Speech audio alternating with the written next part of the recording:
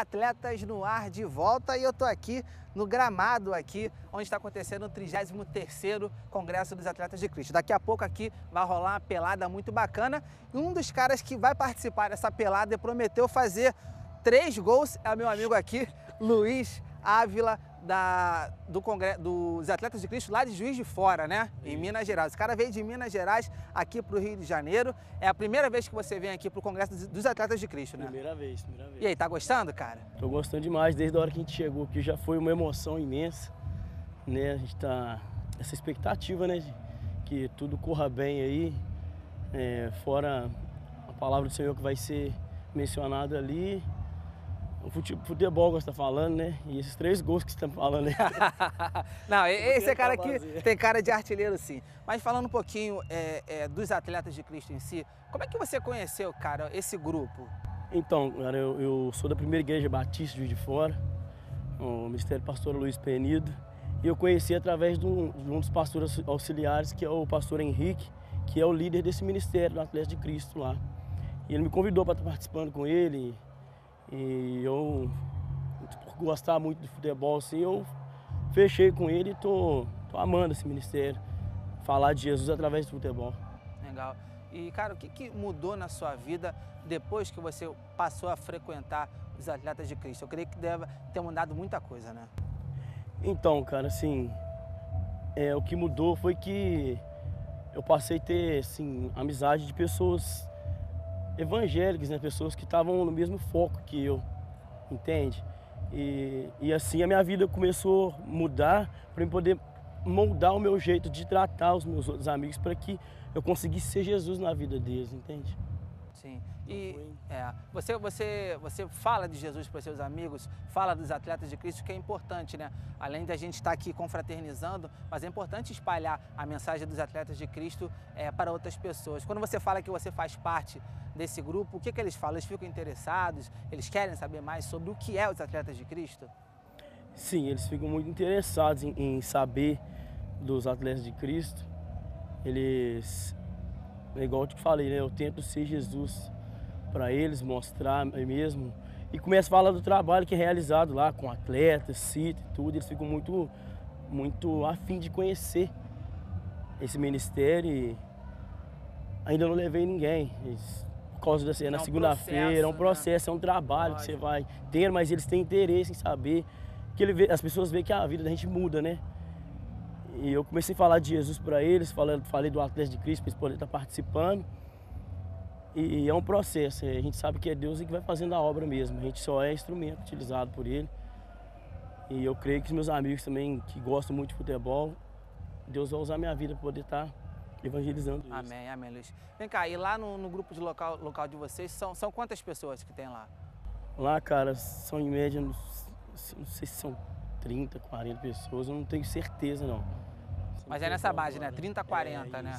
É e lá vocês faziam o quê? Além de jogar futebol, é claro, além da, da mensagem, é, vocês fazem mais o que lá de atividades?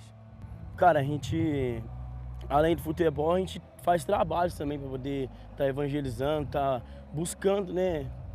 É, é, tentando fazer alguma ação social, essas Bacana. coisas assim a gente busca, entendeu? A gente está com um projeto de ajudar mais as instituições de Juiz de Fora. E é isso, cara é, igual você falou, sem, o, sem, sem ser o futebol, a gente está tentando trabalhar essas outras áreas também para as pessoas verem também que você acaba propagando também os atletas de Cristo, né? Quando você se move para outras coisas, né? Com certeza. A gente sabe que o atleta de Cristo ele também trabalha com outros esportes, mas o futebol é, é, é o, é o carro-chefe. Né? Você acha que é, mais atletas de Cristo cristãos, mais atletas de Cristo dentro do campo, você acha que pode ter até uma revolução no futebol brasileiro, onde, onde muitos talentos que acabam começando cedo, acabam cedo porque não tem a disciplina, não tem um foco, né? Você acha que o atleta de Cristo é importante para poder moldar essas pessoas? Sim, cara, o atleta de Cristo ele é muito importante para poder moldar as pessoas nesse aspecto que você está falando. E, e lá em Juiz de Fora a gente até tem um, um, uma pelada, né? Do, nossa lá, do pessoal da igreja, junto, juntamente com o Atlético de Cristo, para poder chamar não crentes, sabe? Para poder estar tá participando, para para elas verem como é diferente quando você está no meio de pessoas que estão buscando primeiramente a face do Senhor, né? E a gente está tentando trabalhar nesse, nesse foco aí com futebol, poder juntamente mostrar os atletas de Cristo para as pessoas. Aí a gente convida, pô, participa com a gente lá, é bacana, você vai gostar. Aí a pessoa já se sente interessada. Atletas de Cristo é muito importante, ainda mais para essa molecada aí, esses jovens aí, eles ficam eles veem que tem jeito de você viver uma vida feliz, alegre, fazendo o que você gosta, mas exaltando primeiramente o Senhor. É, importante, né? Você aliar o futebol à mensagem de Cristo, tenho certeza. A gente tem exemplos aí de muitos jogadores que são atletas de Cristo, nem são da nossa organização, mas que seguem a Cristo e, e você vê a diferença deles dentro e fora de campo, né? Você chegou a ser jogador profissional, Luiz? Não, não. Infelizmente não. Eu acho que eu creio que é um sonho de todos, todos os jovens, todas as crianças que gostam de futebol. Eu acho que é o sonho delas ser jogador de futebol, mas eu não, eu não, não era o, propósito de Deus para minha vida, então eu não cheguei a ser não. Joguei muito, tem muito campeonato de várzea já, mas profissional não.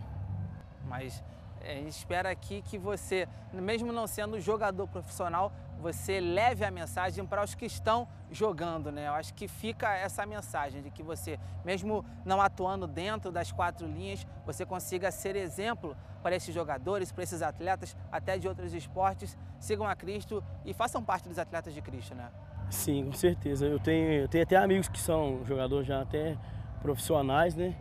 E eu estou sempre incentivando eles a colocar Jesus primeiramente, é, seu foco Jesus ser o foco e com certeza a palavra dele diz que para a gente colocar ele em primeiro lugar que as demais coisas serão acrescentadas. E eu tenho falado isso com os meus amigos e eles têm ouvido essa mensagem, glória a Deus por isso. E assim, com certeza, eu tenho muito amigo peladeiro, gosto demais de futebol. Eu também. E profissional. e então eu tenho pelo menos essa essa, essa, essa, né? eu tenho essa, essa oportunidade de estar falando para eles, mesmo não sendo profissional. Estou sempre jogando bola com eles em pelado e falando desse amor de Jesus para eles. Então eu creio que, além de eu ser apaixonado pelo futebol, eu, eu ainda consigo falar de Jesus e levar os atletas de Cristo por onde eu tenho ido. Legal, cara. Espalhar a mensagem acima de tudo. Né? Luiz, quero te agradecer, irmão. Obrigado, Muito bacana irmão. a nossa entrevista. Espero que você de casa também tenha gostado.